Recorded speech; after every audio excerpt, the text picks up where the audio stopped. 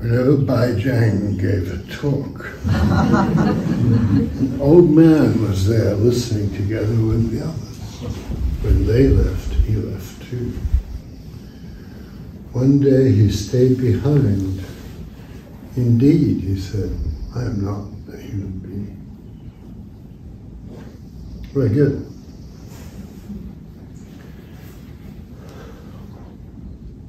So, um, the two animal kinds tangled up with each other, and one of them is that one, the fox. Indeed, I am not a human being, which I always thought was one of the good lines in the koan curriculum. you meet somebody in an alley and they say, Indeed, I am not a human being. Can you hear okay? In the back, John? Yeah. Uh, in a way, it's true of all of us, you know. Indeed, I'm not a human being. So, and uh, when I was, I guess, at some stage, some of the dojos I trained in, uh, every session started out with the koan of the dog. And it started out um, was just recited, and uh, everybody in the room could recite it. And it, uh, a monk asked Zhaozhou, does a dog have Buddha nature or not? Zhaozhou said, no. And they always use the Japanese mu, which is an old, old uh, it's a Chinese pronunciation from like 1200 or something. The Chinese call it Wu now, but um, it's a Chinese dojo say Wu. Uh, but um, means no, so we say no. so does a dog have Buddha nature or not? No, said Zhaozhou. So, um, and it's interesting to think of it I never knew what to make about the dog because I never had any problems about dogs and Buddha nature personally. And um, the uh, but in a certain way, it makes sense to me now that uh, and uh, so the dog. The thing about it is part of you, you know. So that's a good thing. The dog. So you can tell I'm going to talk about the dog tonight and um, and it's part of some part of you that you probably pretend you're not. You know, it's obviously a shadowy part of you because dogs are very, I don't know, they're very loving and amiable and vicious when they need to be, things like that. So they're very dog-like. So. Um, and I always like people who know about themselves, you know, people who know that they have a shadow and can be pissed off or heartless or loving or reckless or whatever they are. They're, they're kind of, it's good to know that, you know, it's kind of nice when people know that. And it's a lot easier in Zen when people are being virtuous, you know, because virtuous is always something that's not actually about virtue, you know image thing. So um, dogs have something to be said for them in that way. They have very big hearts, you know, when you're close to a dog. So I want to read, I want to do the koan. And it occurs in two places in our koan curriculum, in the, the Muan, uh, the no gate, and the, that's the wu, the no, no gate gate or barrier. Wumenguan in Chinese. And that's the one we um, were subjected to on the first night of sesshin. Actually, it was the second, the first night last night. You know, things change. You know, the, the first night was given entirely to rules. Don't look at people. Don't, you know, can't remember what they were. It shows says something about my character, likely, but, um, yeah, don't look at people, don't turn around, don't speak, don't whatever, don't make social greetings. you know. But anyway, it went on and on and on. And, uh, you know, I'm a pretty good meditator, so I just sort of, you know, just meditate through that stuff. But, um, so a monk asked Zhaozhou, does a dog have Buddha nature or not? Jiao said, no. And Wumen, no gate. So um, some of the uh, Chinese translators have started translating out those names like Mumon or Wumen means no gate. So no gate said, you know, uh-huh. which sometimes is helpful and sometimes incredibly confusing. So, you know, so. For the practice of Zen, it's imperative that you pass through the barrier set up by the founding teachers. For subtle realization, it's of the utmost importance you cut off the mind road. You know what mind road is? That's it. Cut it off. there. if you do not, so you can see the whole point here, you're throwing yourself into this and then everything else stops. The mind road, there's no traffic. The ghosts are not moving at midnight. There's just no, just going. Where? Really? Um, not so hard. If you do not pass the barrier of the ancestors, if you do not cut off the mind road, then you're a ghost clinging to grass and trees. You're just moved about by the wind. You're not really, you know, don't stand on your own legs. What is the barrier of the ancestral teachers? It's just this one word, no, the one barrier of our faith. We call it the gateless barrier of the Zen tradition. When you pass through this barrier, you will not only interview Zhaozhou intimately, you will walk hand in hand with all the ancestral teachers in the successive generations of our lineage. You've heard of a great teacher and wished you to study with that person now they're dead, you walk hand in hand with them. Fair enough. I'll take it. Um, uh, the hair of your eyebrows entangled with theirs. So that looked, you know, really face to face. But then he goes on to say, seeing with the same eyes, hearing with the same ears, so you become a person. Um, which is kind of interesting. That's a whole thing that happens in, in Zen meditation where some people say, well, I don't know who I am, but also you're all of that. You know, that's one of the things. If you if you're sitting in my seat and people come in for interview, then one of the things you notice as people start to like wake up, um, they're not so stuck in me, you know. And you can sort of tell if somebody's had an experience, even if they don't really know it, you know. Um, what do they know? It's just their life. You know? So, um, and um, teachers in the successive generations of our lineage, the hair of your eyebrows entangled with theirs, seeing with the same eyes, hearing with the same ears. Won't that be joyous? Ah. Is there anyone who would not want to pass this barrier? So then make your whole, this is, the, this is an interesting instruction, just not what you people usually think. You be very gentle and mindful and stuff like that. To hell with that, he says. Make the This is Zen. What do you think this is, Bushweek? Um, so then, make your whole body a mass of doubt. So that's the dog thing, isn't it? You sign with the thing you thought was the problem. So you enter the thing that you thought was the problem. You know, it's kind of turning into the difficulty, know, the trouble. Yeah. And with your anybody who did anatomy in the room, one of the problems with this next bit, but uh, your 360 bones and joints and your 84,000 hair follicles.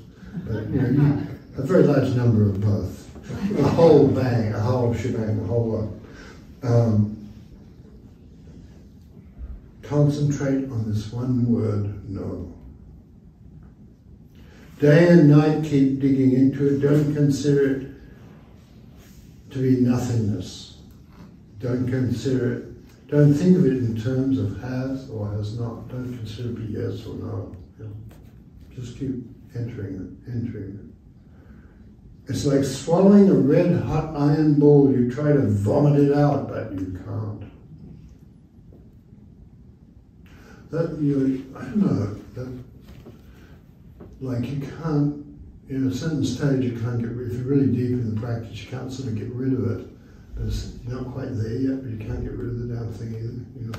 And and it's a beautiful thing. I mean, you realize, oh, I'm being carried by something greater than what I thought. You know, that's a very important part of practice. Be carried by that which is greater than my motives and, and skills and schemes and my prestige and my honor and how important I am. Something much greater than all that. And so that's what the modesty of, of the modesty of Zen practice is that, you know, you have to, the great Koan is greater than you and starts carrying you. Um,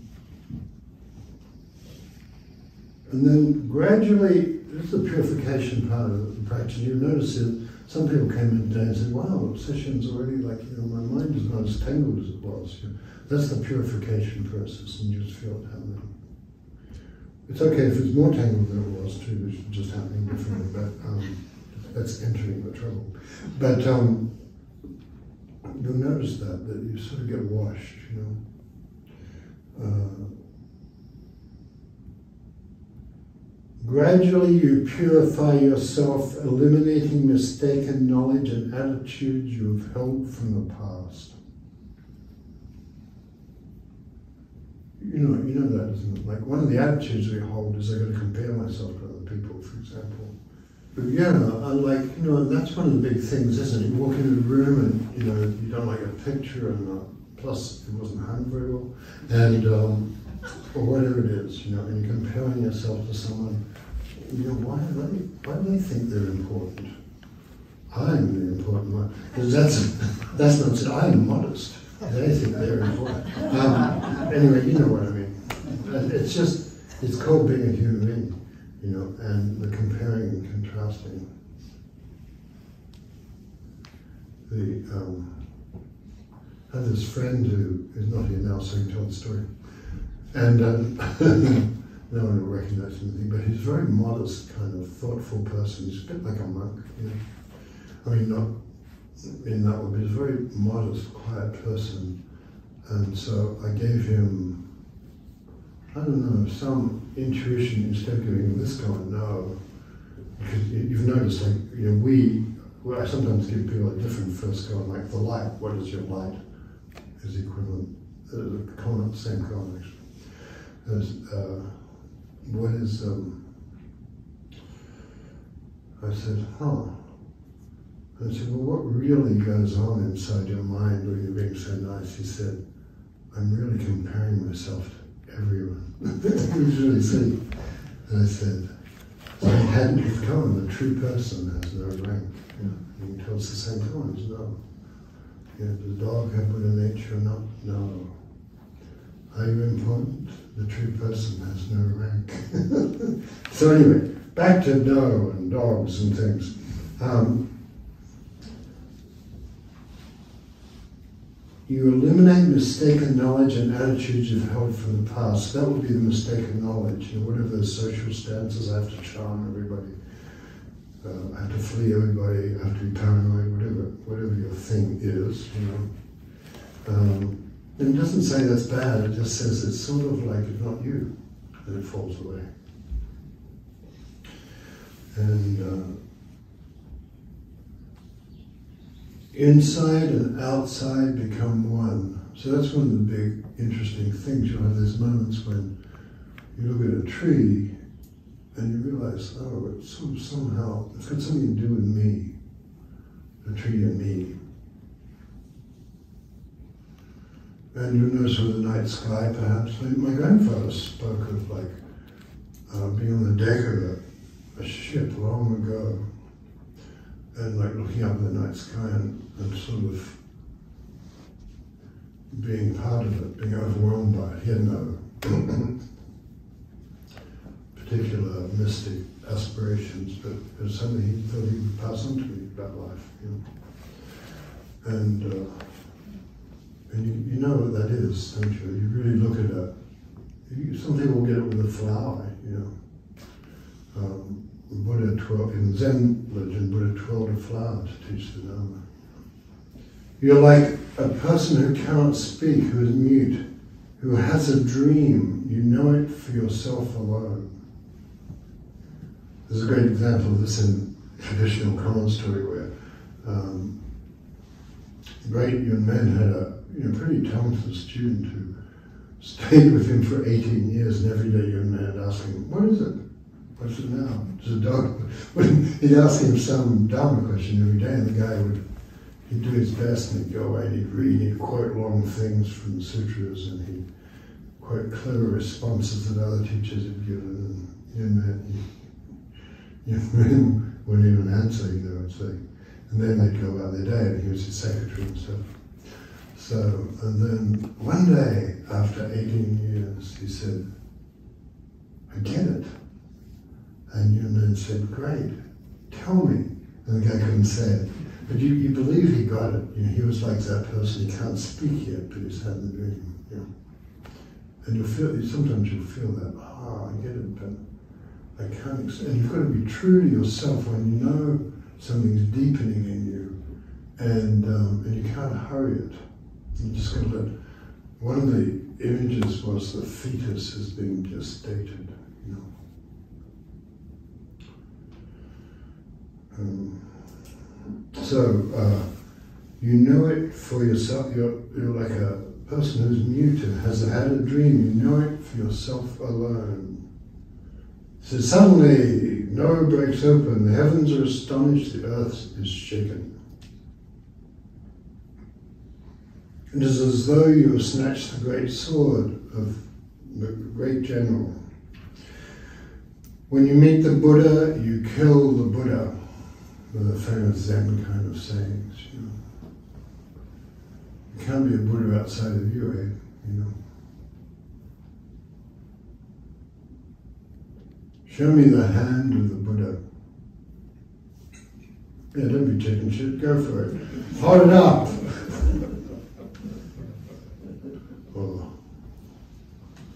Yeah. It's kind of awesome, isn't it? Like the hand of, like, it's awesome.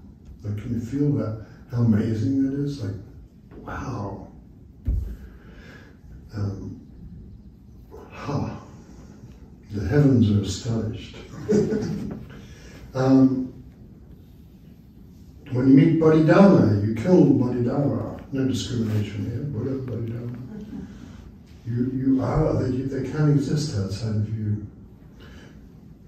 At, at the very cliff edge of birth and death, you find the great freedom.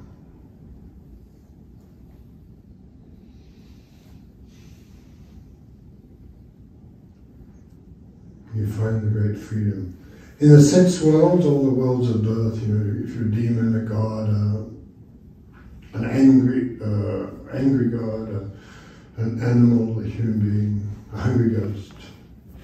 In all the six worlds and all the ways of being born, you enjoy a samadhi, a deep meditation of frolic and play.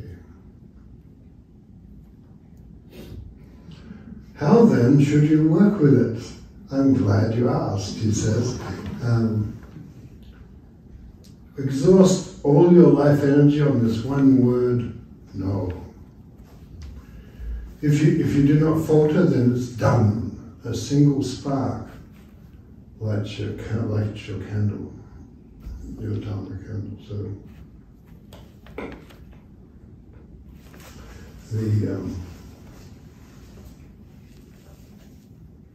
and you can tell that you know Wumen he was just really wanting you to have that experience. He was passionate about it. You can tell. Um, I don't know. He just thought he just wanted to help, and he thought it would help. And uh, in fact, it usually does.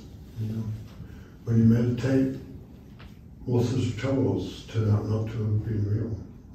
So, of nice. Um,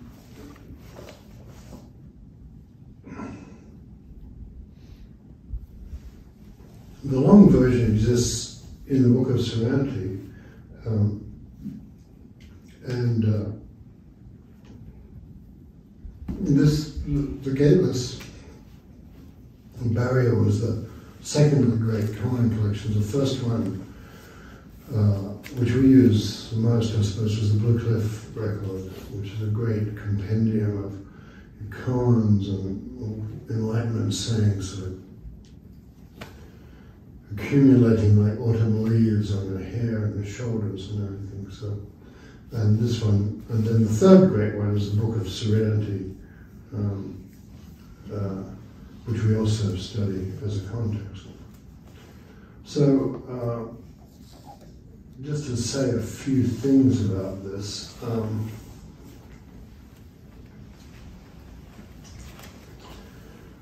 you can tell that if you're just doing a koan, it doesn't really matter what your koan is. Like, um, at some stage I realized um, somebody once, who's now a close friend of mine, um, said, I just hate this koan." No, you know, like, and um, I hate it. and uh, so I hate this koan now. And uh, I need another one. And I said, no, no, that's not going to help. But, but after sort of a year or two of pleas about that, I said, no, there's only one way to prove it won't help. And um, and so uh, I said, uh, uh, somebody asked Yunmen, what is Buddha? And he said, cake. and so um, he had to work with that for a while. And um, it was kind of an endearing thing. I said, well, I'll experiment. You know. And, uh, and then you'll see that people, cake, cake, yeah, cake. A particular kind of sesame rice cake that's considered nice, especially nice, but yeah. And, um, or, you know, a, a, friend of mine, I kind of lost contact with over the epidemic, but Uh, teacher, one of those people who, there was his lineage when he was born, he was assessed as a reborn uh, Lama, and then hyper-educated. And uh, but he kind of got interested in Zen, and he said, uh, "There's another koan that goes, what is Buddha? Three pounds of flax, three kilos of flax." He said, three kilos of flax. What does that mean? they can tell, ah, it had him. So you can see the koans will, something in the koan will stick to you, and that's the good thing. It's like the trouble, like the fever coming to the surface, and you realize there's something about life that's great, and you just need to do. You know, you need to solve this matter. And it doesn't really matter how many lifetimes, I suppose. Like the guy who was a fox for 500 lives, he never quite forgot the fact that there's something possible, you know. He waits 500 lives before he finds the person who can release him. Kind of nice. And, um, and so then we get beyond success and failure. Uh, you know, we get beyond um,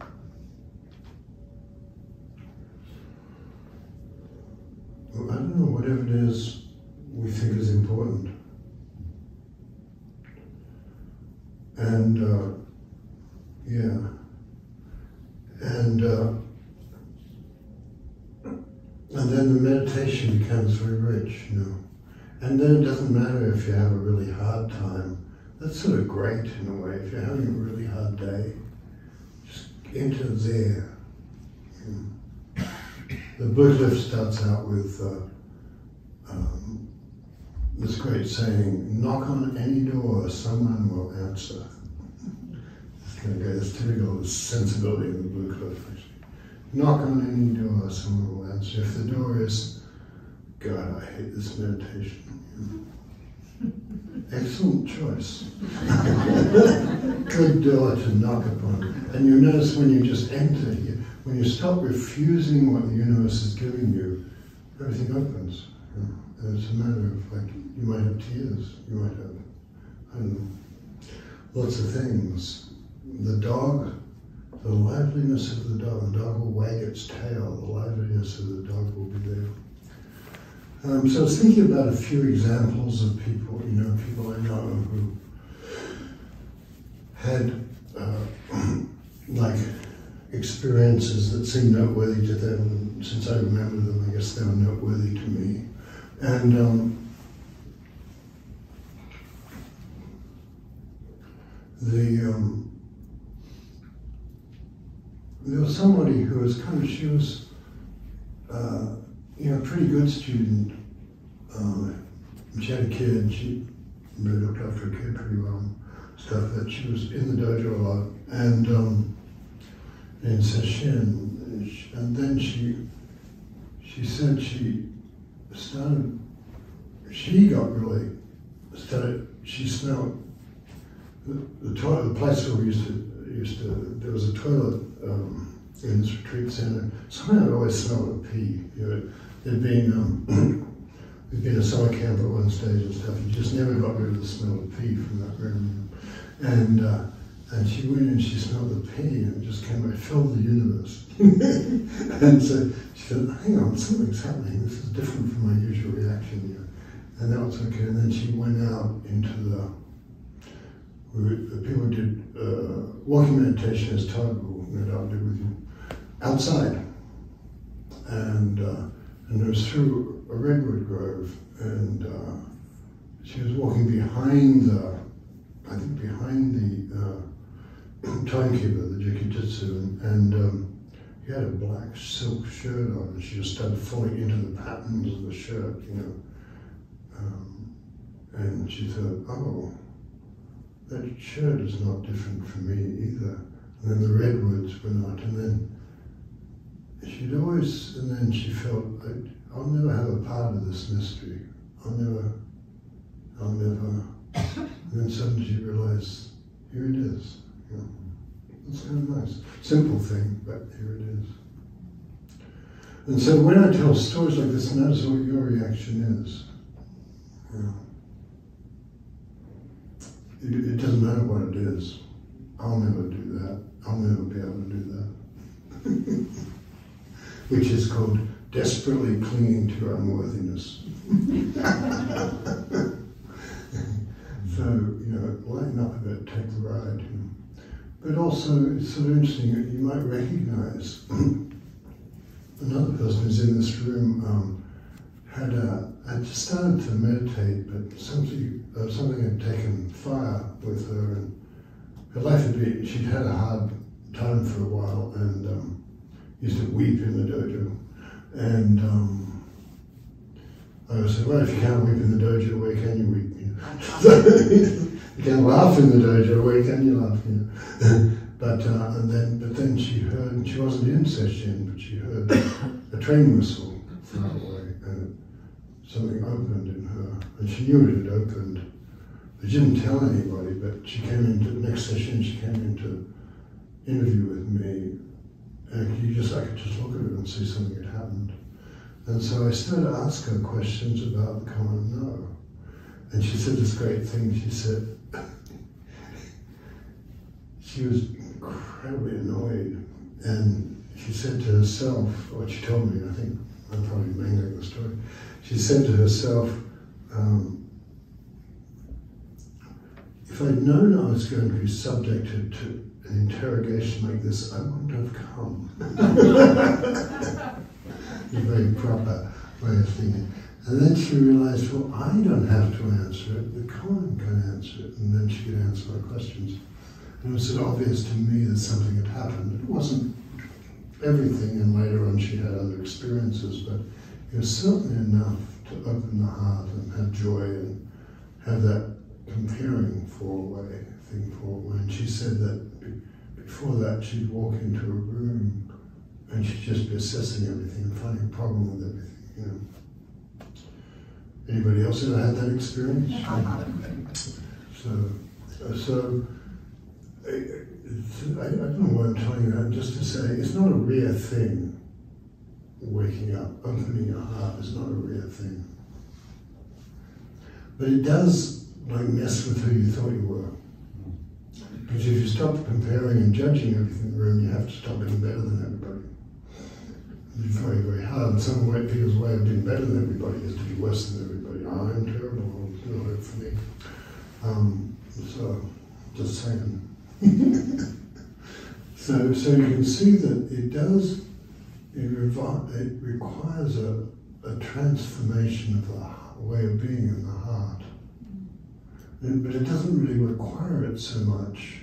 If you just keep flinging yourself into the koan, it, it'll give it to you.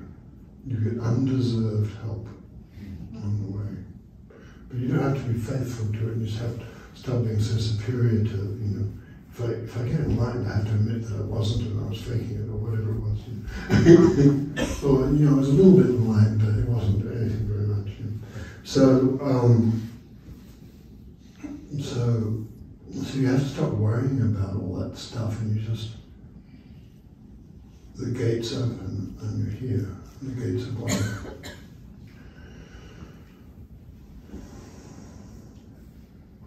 Does a dog have Buddha nature or not?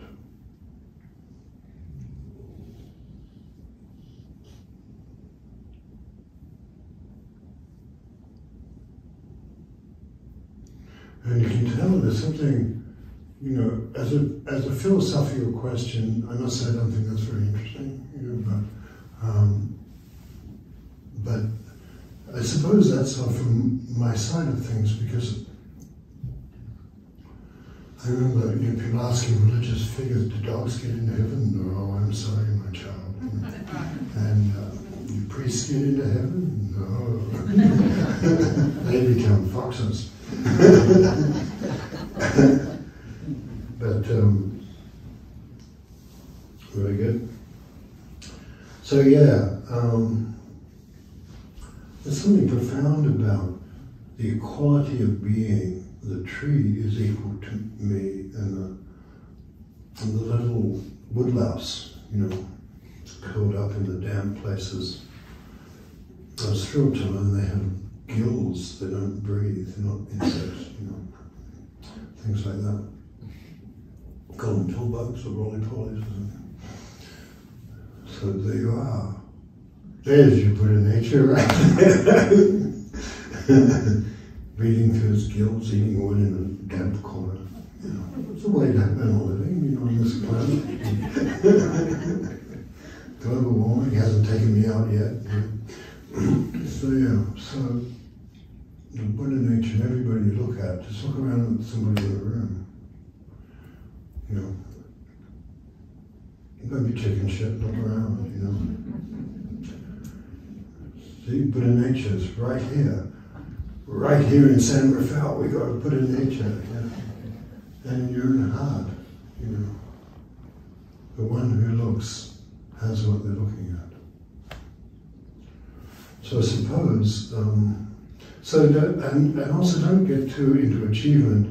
That funny story I told you about them be, digging the, the pit for the guy to throw in and bury him alive if he didn't. Uh,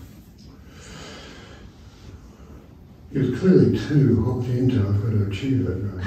That was a way of solving it. Like, now I've completely failed. I'm midair. I'm going to be buried alive. Ah! Finally, I can be here. Seems an elaborate way to get there, but you never know. Don't criticize other people's methods, you know. So, so yeah, so, uh, but it's you, you know, it's you whose hand is the Buddha. Show me, show me the hand of a Buddha, yeah. One, uh, one teacher did a very touching um, response to that. He said, playing guitar in the moonlight. Show me the hand of the Buddha. playing guitar. And anyway, what are we going to do now? Alison, I told one of your stories. Do you want to say anything about that? Or I interrogated. I thought I just interrogated her just before I came in. I said, "What was that story about the train whistle?" and I remember her, her like refusing to answer the questions, and then quite happily answering them all. well, I think it wasn't. It wasn't that I, I refused. It was that I was so shocked and immediately just felt this sort of white wall of fear. It was sort of blinding fear of, of being wrong. And I just had no idea that that sort of situation would appear in the Songbird.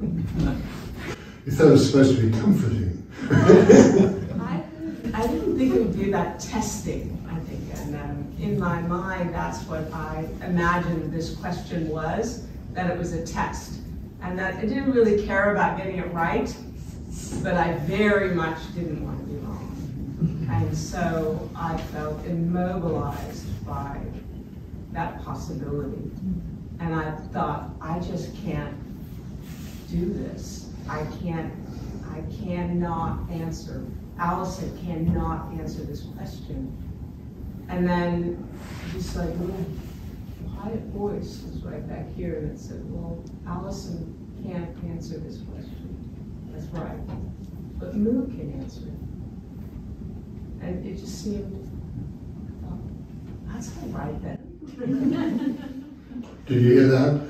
You can't answer the question, but the koan can, you know. And uh, it's an interesting thing, and people have written about as a testing and checking process, and Japanese are very fond of examinations, which is something they inherited from the Chinese. And uh, the whole examination scene in the literati tradition. there are whole books of the right phrase of poetry. You know, moonlight sweeps across the balustrade and no dust is stirred. That's the answer to some poems. They're like little quotes of classic poetry. And, um, but uh, at some stage I realized, no, it's not a test, it's a discovery process, you know. And it's an intimacy process because of discovering how do you see it and how do you, you know, oh, you see it that, that way. Or for you it's in, for it's in the scent of pea was the gateway, you know, or the train whistle, you know. Could be you could be in danger of your life and that could be the gateway. And it's a funny thing. Um, uh, when I was going through that initial process where these questions are often asked, does a dog have Buddha nature or not? How big is the dog? things like that. And uh, um, and uh, at some stage I realized, and I, sometimes your intuition can answer those things, but the teacher can tell that and doesn't give too much credit to it, you know. But um, at some stage I realized, oh, I knew all this. And it was a great thing, you know, it was, I felt it like bursting in me, you know. And I know no, I wasn't far from something, and then you feel it burst in you. And, uh, and also at that stage, it didn't matter whether I got it or not. That's the important thing. You stop being attached to the grasping, you know. This will save me. I'm sorry to tell you, nothing will save you. Actually, it will save you. It saves the world too. That's how you save all the beings in the world, right? Yeah. But um, yeah, and so then I realized, oh, and so I don't know. I just didn't want to go through and rush through and answer those questions. So I just uh, went out of that, went back and sat in the back corner of the meditation hall, just listening to the birds and meditating and just laughing, you know. But I, I didn't know what was funny. It was just the laughter wasn't even mine. I was coming, I had to sit with that for a while. And, uh, and then I knew I could answer the questions, but I'd just take them one at a time so I could taste each one, you know. So that's what it was like. And I just found them instead of being some onerous final exam, I found them incredibly kind and generous because it started to show me what. So that's what I think, you know, this guy Wumen, when he said, make your whole body, you know, all that stuff. He's doing, he's doing his best, you know. He's uh, being kind and also you can tell, when you hear that, you can tell I have some of that in me. That Buddha nature is, is not not in me. I can tell that. Thank you very much. Please restore the hall.